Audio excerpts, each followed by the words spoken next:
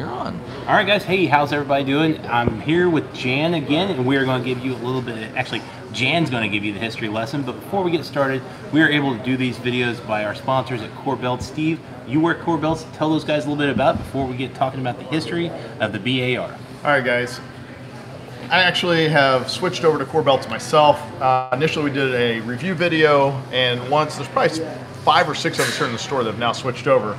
Uh, so not only does it make this really cool clicky sound, but what's really neat is that those clicks are incremental adjustments that allow you to adjust. So as you can see, I'm wearing one here. If I need to let a little out during the day, I can. If I need to cinch it up just a little bit, I can do it that simple as well.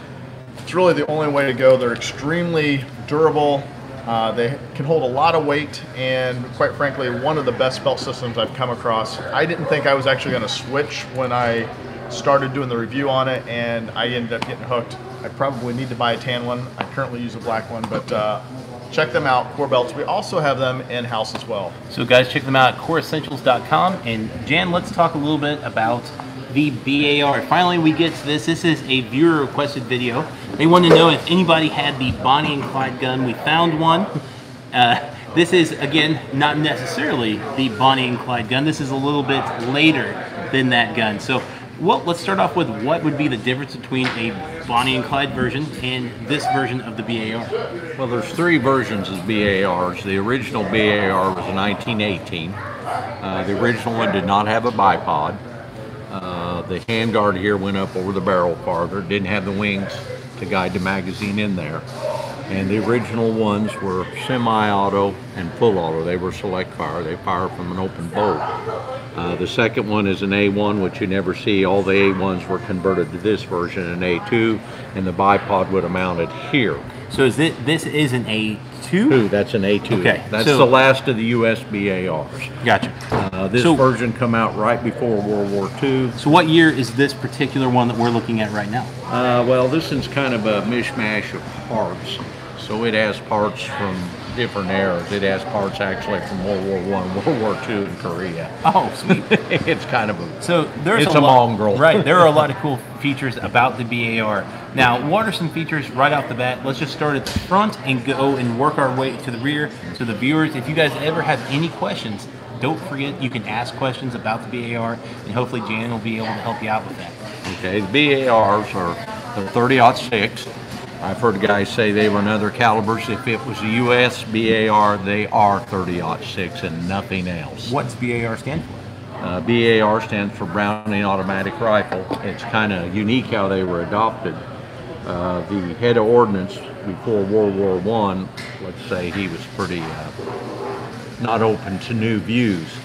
Uh, he didn't want a, any demonstration of new guns. In uh, March, April of 1917, Colt uh, got members of Congress and the head of the Joint Chiefs of Staff, and they went out and they done a demonstration. They demonstrated two guns. One was the BAR, and the other one was a 1917 Browning.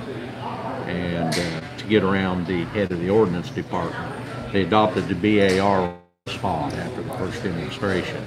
Uh, the reason it's not designated in 1917, they adopted the water cooled as 19, and they didn't want two machine guns with the same designation, Gotcha. so they made these called the 1918s. Uh, in World War One, they were about a year going into production, so they didn't see a lot of them, and they had some, but uh, the Army didn't want to take any of them to Europe in World War One. They didn't want the Germans to capture any of them and reverse engineer them. At the time it come out, it was a groundbreaking gun. It was uh, the original ones didn't have a bipod. They weighed about 14 pounds. So what would someone have done with this? Like in service, what would the the, the goal of this rifle been in your infantry? Uh, at that time period, it was uh, basically used, like I say, they didn't have a bipod. They used them as, they called it a machine rifle. They didn't call it a machine gun. Uh, you would use it much like you would use an M14 or an M16 today. They were selective fire. And you remember at time period, all the rifles were bolt action rifles, generally five shot magazines. These had 20 round magazines, which was, you know, really in, innovative at that time So period. I, I guess my question would be, if you were in there and you were wanting to use the BAR, who who would you have been? Like, would you You'd have have been? been su- support. Uh, you would have been like, uh, uh, well, you'd have been like a, uh, like they would use a saw today. Okay. That would have been like your designation. You would have been uh, infantry support. Now, would they have carried these like you see here, more of a in the very first version would would have had a sling, and you would have been carrying that around, and it would have been a normal rifle for you. You would have just had this as a rifle. Then it turned into A light machine gun. a light machine gun, where you would be more of a prone position, laying down, you know, that type of thing. Well, they used them for suppressing fire. The original ones, their belt had a had a metal cup in here, and they would have fit the buttstock in the cup and shoot them from the hip. Actually, Gotcha. uh, you see. Some, I think we've seen some videos of that before, yeah, where, where yeah. they're put shooting it from the walking hip. fire. They called it. And the idea was they would shoot them full auto, and every time you put your foot down, it was supposed to shoot around as you advance to keep their heads down. Gotcha. Uh, it wasn't really successful, but it sounds good. Absolutely. So let's let's go at the front like we were doing. So we're talking. This is the version two, or what? What would you? Version two is that what you would call this? actually version three. Version three. So it has a bipod, It which easy. It folds up. Show show them kind of how this mechanism works on the front. Okay, the bipod, if you get on this side here, you got a thumb screw here, Go ahead. And you just pull that down, then you slide it forward, and you can lock the fold the bipod up. Now, most of the troops in World War II in Korea, if they was going on patrol, they took actually took the bipods off to make them light. Sure. If they was in a fixed position in a trench or a foxhole, they put the bipod back on. Because with the bipod, they weigh about 19 pounds, are relatively heavy. Is that is that what this one would weigh right now? About yeah, 19 they're pounds. 19 pounds. So we're looking next. We have front sight. It has a little shroud on the front. Yeah, it's a sight protector. Uh, it's basically is to protect the front sight for getting bent, bent up, or beat up, or knocked out of alignment. Um, a lot of the times they took that off uh, to make them lighter and threw it away. This one just happens to have none on it. Um, this here is a later version. This is your gas regulator. The first ones you had to drive out a split pin to change. There's uh, three orifices in there. The gun gets dirty, you can open up the gas port and give them more gas You said it's pressure. a regulator, so it does it. It's actually got three different size orifices in there. It bleeds off the barrel, so you can how much gas pressure goes on that gas piston in the end of here. It's a gas operated gun. So would that be something you would just, uh, I guess, change over time, or or would it say, okay, this isn't functioning the way I want it. I want to change a little bit more or less. Yeah, yeah. If usually you left them on the slow, the the smallest orifice, and if the gun got sluggish or didn't in there, they get dirty, they get sluggish. You would just actually turn this, and it'll turn to there's three positions like that. And if it happens to stick, it has a big hole in it. You can stick the cartridge in the hole to turn it if it's out. Oh, gotcha. Okay. So That didn't come out till the Korean Korean War. That'd be so the War. first version and the second version would not have that. Uh, no, uh, they were they did have a three position orifice in there, but they had a split pin you had to push out, and they were a lot harder to change. Gotcha. So a little bit farther back, you said on the first version, there, this would have kind of been up a little farther. The this correct? handguard on the very first ones was longer this way, and it come up actually up on both sides of the barrel, so you wouldn't burn yourself. Sure. Uh, these barrels, that's one of the weaknesses of the BAR. They don't have a quick change barrel, so uh, the barrels get really, really hot. Actually, if you look at this one, it's a little plum color in front of the chamber area. Sure. For, for a light machine gun, that's a fairly light barrel. What- With this, it, funny question is I see a lot when we have leaving our full auto rentals. I mean, people get, you know, the first thing they want to do is kind of like grab up here somewhere. It probably you'd learn real quick not to do You it. only do it once. That's what I was going You to say. You probably learn pretty quick. You know, do not do that. So we we kind of go over a little bit like, hey, you don't want to put your hands here. But would that have been something that that would have happened a lot, or Oh, would that have been just like, yeah, have You only time? done it. You yeah, do yeah, it yeah. one. Yeah, yeah, you only do it one time. Uh, um, yeah, So I see, take- Basil, take- come on this side real quick. So let's talk about this side. We have charging handle, but a little bit farther forward. It looks like you have a little lever. What's this little lever This is the takedown lever that actually holds in uh, the gas tube here and the forearm when you take it down to clean it. This is on a dovetail here. You take this lever, turn it down, pull the pin out, and then that'll slide off. Okay, so this whole mechanism here would all slide Come forward. Yeah. Gotcha. And there's another lever right here. Oh, right here. And that one there would take the trigger group out for cleaning. This one here, this is your safety selector. Uh, A is automatic fire, the R is repeat, and so you don't accidentally put it on safety in the heat of battle. It's got a little pin here. Put it on safety, you have to push that in and then flip it on back, and that would be safe. So like in the heat of battle, you you know you take it off safe, it'd be on full auto. Now that does not pin it back. So when No. that comes down, the fat Yeah, it can't here- come back till you push it in. Okay, so it does actually keep it in yeah, there. you cannot. Yeah, you have to push this down to put it on safe. Okay. And but what about to take it off safe? You just push it forward. You can just push it forward at that point. Okay, gotcha. This is the mag release. Uh, the That's different. So the mag release is inside the trigger. Yeah, you push it forward. The mag release. It's an empty mag. The gun's unloaded. But if they don't rock in, they go straight in. Lock in like so there's this. a little. Take this back out here. I'll hit this button. All right. So as you can kind of see, there's a groove cut right Yeah. in here where this fits perfectly. Yeah, and here's the notch where the mag catch holes. So you want to take a mag or drop the mag, you would actually take your finger and push forward on it. Your trigger finger and push forward, drop the mag. Yep. So They- just like most of the autos that we've discussed here recently, this would be shot from an open bolt. Again, you might open- tell them what that means by shot from an open bolt. Okay, well, right now it would be ready to fire. And So as you guys can see, there's nothing covering this. That is the chamber. You're ready to go. yeah, and I won't drop. Oh, watch your hand there. Got it. Got it. And when you pull the trigger, the bolt goes forward, strips around out of the magazine, and it goes all the way forward and fired the cartridge. On the recoil, look, give it, give it a pull down there. Go. You want me to pull Yeah, backwards? pull back. And now see the bolt is locked. Locked. So, it's actually on the It's, sear. it's locked right there, and then It's I on can the sear. Yeah, you I can bring this forward. If you guys can't tell, this goes over the top actually of your grip. So you'd bring it forward, you'd lock it back to the front, which Yeah. locks in, looks like over this little pin up here in the front, and then that will, will allow you to shoot that first Yeah, round from the, open bolt. The uh, charging handle does not reciprocate with the bolt. It doesn't. Yeah, right, move. right. It doesn't move. So So the reason these guns fire from an open bolt, like I say, this doesn't have quick change barrels and, and for cook-off.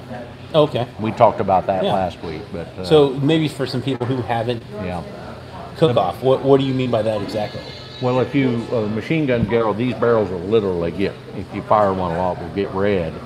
And you have a, if you have a loaded cartridge in the chamber, Mm-hmm. the heat from the barrel will ignite the gunpowder, and the gun will go off whether you pull the trigger or not. And that's called cook-off. That's a problem with the machine gun. So they use an open bolt, so you didn't have a cartridge in the chamber, and two, so air can flow through the barrel when you're not shooting. Sure. So let's talk about a little bit more up here in the front, Basil. All right. We have we have looked down here. This is where the magazine is. You, you'll be able to go up here. This is the release for your mag. This is the selector from full auto to semi-auto and safe.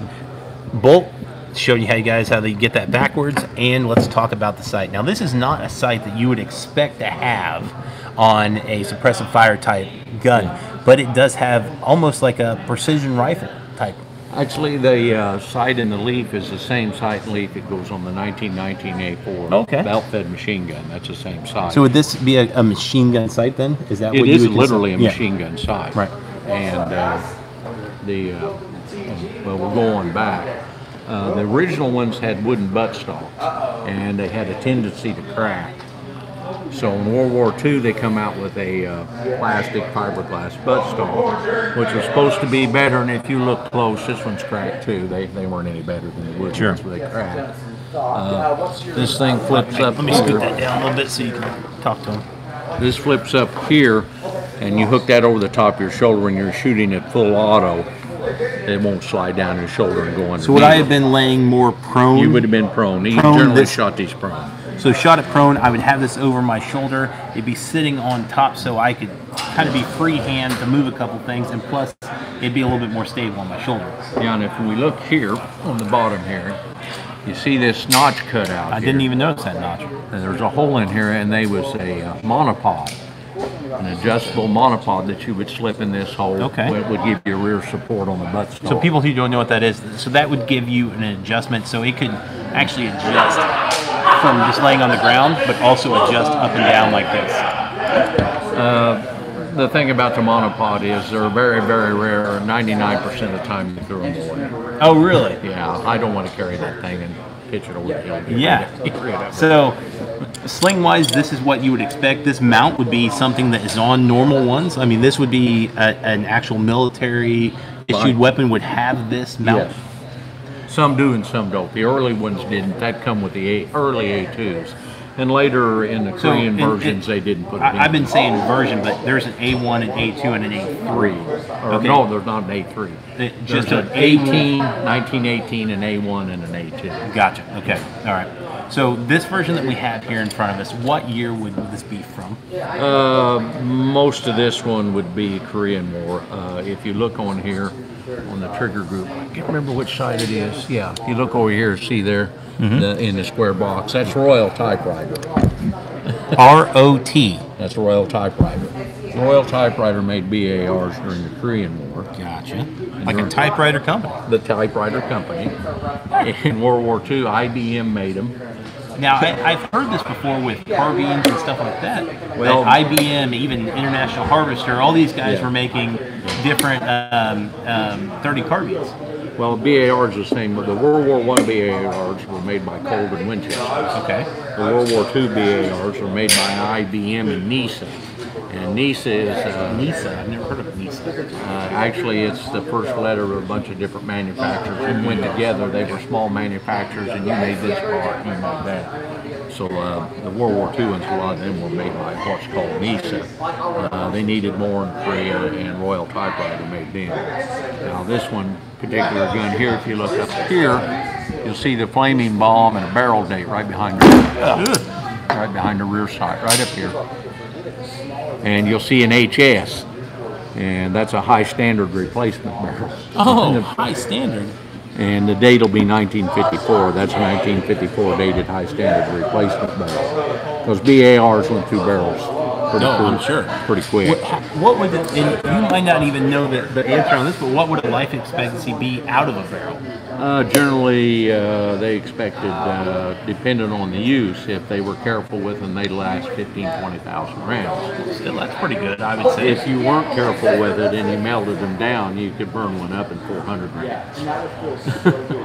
Now, when you say not careful, could I not shoot in wartime 400 rounds out of this, You one wouldn't after want another? You would not want to shoot 400. If you shot 400 rounds continuous out there, mag after mag after mag, their barrel, you would ruin the barrel. when you got It would. It would instantly- Literally ruin. You'd melt the barrel down. Okay, so let, let's talk at our favorite part. Let's talk about price. If I was to buy a magazine, what would I expect to pay for it? You know, I haven't seen BAR mag sell for a while. Uh, I expect probably 25 30 dollars. Or Okay. not that they made millions of them. Sure.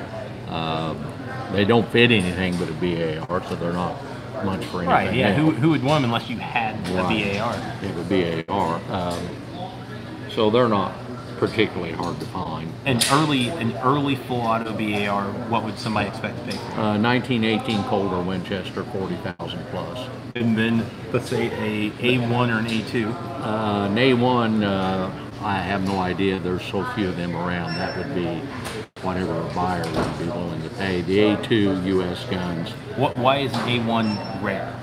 Because they converted all the A1s to A2. oh, gotcha. Okay. and a lot of the 1918s were converted to A2. If they had a 1918, So the first two versions, or the first two groups, probably would have already been converted at this time if they were in military right, if they'd have been in military hands, they'd have been converted to A2. And just to recap, because even I, I can't keep it all in my head, what would make it an A2? Like I say, the bipod would have been attached here, and Sorry. it would have been attached right here on the on the gas block instead of on the end. And that would have been one descriptor saying this would make it an A1. Make it an A1. This would be an A2. right. Okay. And uh, the gas And the system, sight was ri- the this gas would have been the same? The, the the cylinder would be the gas regulator would have been different. It would have been the earlier gas So regulator. this is the only, if you see this, you will know that it is an A2. It'd be a Korean War vintage A2 because the A2s in World War II had the earlier gas regulator. Okay. That's actually come out of Korea. So if you were looking at a, a uh, A2 like this, what could somebody expect to pay? uh, probably they'd start probably 25 to 30. So you're, you're bumping 10 grand to be able to get that, that first version that would be a Colt or. Yeah, right. Those that's kind of like the holy grail of BARs. Actually, the rarest BAR is what they call a Colt monitor. And Colt come out of them in the 1930s. They had no bipod, but they had a muzzle brake and compensator. and he only made like 127 Oh dollars. well, yeah. I And the mean- FBI bought 97 of so they're in a vault somewhere. All right, rate of fire. What's what would people expect? Uh, on the high rate of fire, on an A2 would have been 550 to 600. The low rate of fire would have been 400 to 450. Of course, the semi-auto, the selective fires would have been, you know, Fast you can 550 pull. to 600 and, Sure. and then semi-auto. Um, now you were talking to me a little bit off camera about something that, that um, can be modified on these some way to, to, to slow down that cycle rate. Yeah, the, well, on the A2s, they put a rate reducer. When they made them, they took away the semi-auto. This, uh, the selector would, would have been, uh, where this one would be marked auto, or repeat, I mean, the R for repeat. That would be the slow rate of fire. And what they done is they changed the mechanism in the trigger group, and they put a rate reducer in the buttstock to make slow rate. What's fire. a rate reducer? Uh, in this case, it's a big long spring with a piston in there. When you fire it, the bolt comes back, It doesn't. It doesn't let it go and cycle as fast moving Right, forward. it, it holds the sear until this plunger goes back down the buttstock and back in and trips the sear. Understood. Slows it down. Basil, at the very end here, I, anything else you want to add and Yes. talk about with people? Yeah, I will. Uh, all the move, move motion pictures and everything they show uh, Bonnie and Clyde with Thompson submachine gun. As far as anybody knows, Clyde Barrow and Bonnie Parker never ever had a Thompson machine gun. They used BARs. Right. and they generally, I think, when they were apprehended, let's say, uh, one of them they had was stolen from the police department, and the other two were stolen from National Guard armories. But they liked the BAR when they were in a chase. Somebody would break out the window of the car they were shooting, and they'd unload a mag in the uh, radiator and the engine block of the police car, chase them, and that was the end of the chase. Right. And uh, the other thing is, these guns are actually very low cr- low recoil. They're very pleasant to shoot. Bonnie Parker was about five, about four foot ten. Yeah, I knew 80 she was small. she was about 4'10 and weighed like 80 some pounds. And uh, they said she was really, really good with one. I mean, they were thugs and criminals, but Clyde Barrow and Bonnie Parker, they practiced and they were actually quite good with BARs. That's one reason that they was in so many shootouts that they got away. They were better armed than the police. That's right. And, and at that time, I don't think a lot of the police departments would even have the resources to be able to get something like this until they requested it, I'm sure, or had to get it from a the FBI or something else that would be else. able to give it to them. Yeah. Um, Now, that's now we, this is the U.S. BARs. Between World War One and World War Two, other countries also adopted the BAR. Uh, the Swedes adopted the BAR. Theirs had a pistol grip down here, oh, really? and Why would they have had a pistol grip? What, They- what would have been the? the- They just wanted a pistol. I was grip. going to say I don't, I don't know what that purpose would have been other than you know, Probably why oh, why does it why does an AR-15 have a pistol grip Sure, and a sure, sure, carbine sure. belt? You know? Yeah. But uh, Poland used BARs also. Uh, the Poles used BARs. FN made BARs for Belgium and sold them to other people. And the very last BARs that uh, Belgium made had quick change barrels. They had a quick change barrel. Now, how would that have been quick change? Uh, they had a latch on it. Uh, Same thing like with the one we looked Yeah, at last it- week. yeah, uh, similar was- to that. What was the gun we looked at last week? I am terrible. ZB-26. ZB26. Where, uh, 26. Yeah. All right, so it just had like a little flip down almost, Yeah. a handle, and it just slipped out. Yeah. So that's what it would have kind of been like on that. Yeah, that'd been like that. And the interesting It'd make thing- more sense. Well, the interesting thing is, is this gun still lives because the uh, M240 machine gun we use today, all the M240 is is a BAR action turned upside down with a German MG42 bell feed. That's all an M240 is.